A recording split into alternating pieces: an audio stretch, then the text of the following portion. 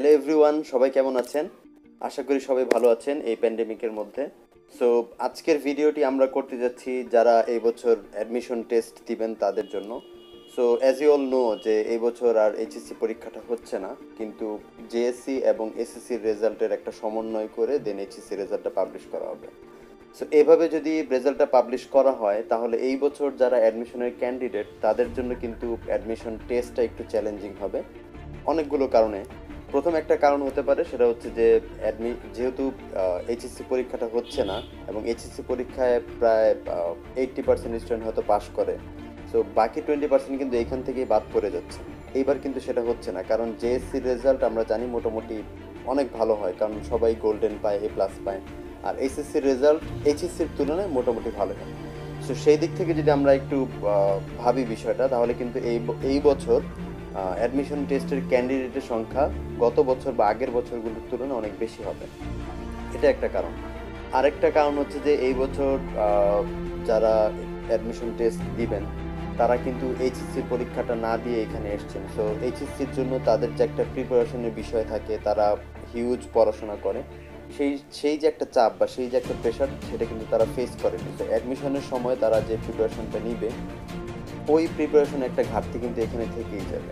এটা একটা রিজন আর আরেকটা রিজন হচ্ছে যে, যেহেতু এবছর অনেকেই পরীক্ষা দিচ্ছে, তো অনেকেই শুধুমাত্র তাদের জিপি এর ভিত্তিতেই এবছর ফর্মটা তুলতে পারবে, যেটা আগের বছর হয়তো পারতো না।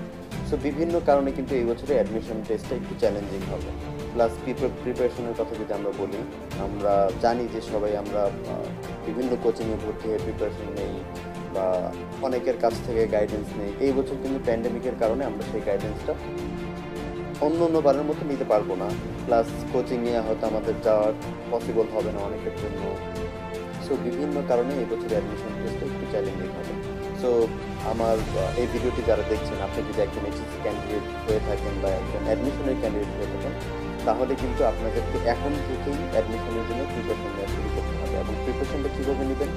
সেক্ষেত্রে আমি বলব যে আপনাদেরকে একটু স্পেসিফিকভাবে ভাবতে হবে যে আপনি কোন ইউনিভার্সিটিতে পরীক্ষা দিতে চাচ্ছেন অথবা কোন কোন ইউনিভার্সিটি কোন কোন ইউনিটে পরীক্ষা দিতে চাচ্ছেন সেই ইউনিট সম্পর্কে জানতে হবে এবং সেই ইউনিটের অ্যাডমিশন টেস্টে কোন কোন সাবজেক্ট থাকে সেগুলো সম্পর্কে জেনে দেন আপনারা যদি পড়াশোনা করেন তাহলে আই আপনাদের অনেক বেশি হেল্পফুল হবে। এবং আরেকটা গুরুত্বপূর্ণ বিষয় হচ্ছে যে এই বছর অ্যাডমিশন টেস্টটা কখন হবে সেটা কিন্তু এখনও ডিক্লারেশন দেয় নাই। তো দু একটা গণমাধ্যমের খবরে আমরা যেটা জানতে পারলাম, সেটা হচ্ছে ডিসেম্বর বা জানুয়ারিতে কি হয়ে যেতে পারে। সেক্ষেত্রে কিন্তু খুব অল্প কিছু সময় আপনারা পাবেন, যেমন দুই মাস বা তিন মাস। সো এইটার জন্য এখন থেকেই আপনাদেরকে প্রিপারেশন নেওয়া শুরু করতে হবে। এক মুহূর্ত সময়ও ওয়েস্ট করার মতো নাই। সো আশা করব আপনারা সবাই ফুললি প্রিপেয়ার্ড হয়ে অ্যাডমিশন টেস্টটা দিবেন এবং সেটার জন্য যে এফোর্টটা দেওয়া দরকার বা যে যে পরিশ্রম করা দরকার আপনারা সবাই করবেন। এবং পরীক্ষায় আপনাদের সফল সফলতা কামনা করছি। Best of luck